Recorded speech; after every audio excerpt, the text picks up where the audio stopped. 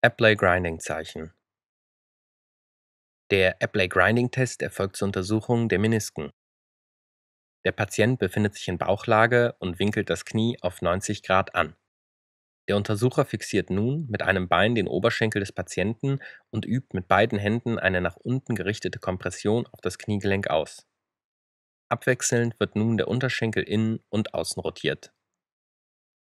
Medial auftretende Schmerzen bei Außenrotation sprechen für eine Schädigung des Innenmeniskus. Lateral lokalisierte Schmerzen bei Innenrotation für eine Schädigung des Außenmeniskus